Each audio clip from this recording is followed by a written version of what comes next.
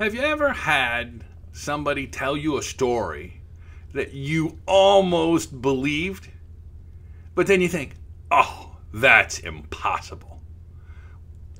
Tell me about that story.